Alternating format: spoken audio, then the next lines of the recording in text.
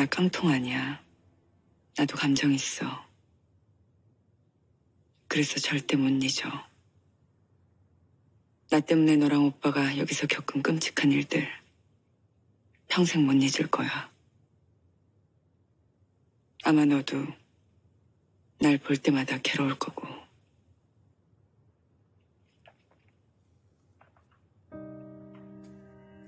잊지 말고 이겨내면 되잖아. 그래야 영원히 자라는 어른이 된다며. 그냥 우리 다 긴 악몽을 꿨다고 생각하자. 나 그럴 자신 있어.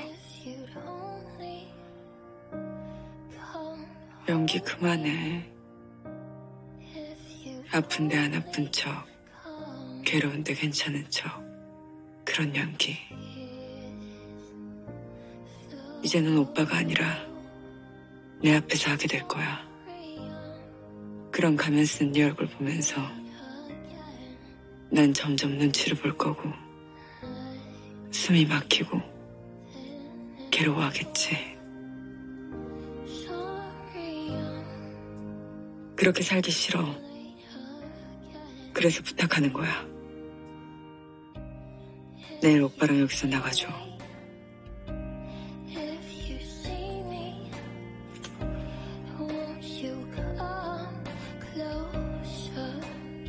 너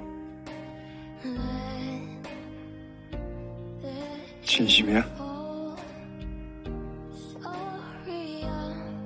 어, 나 그냥 혼자 살고 싶어. 예전처럼.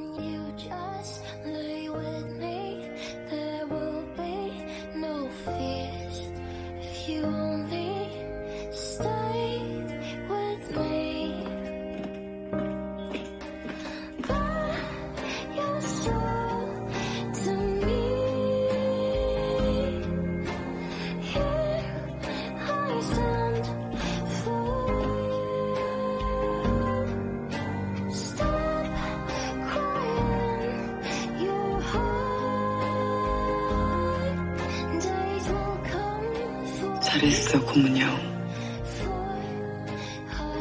잘했어.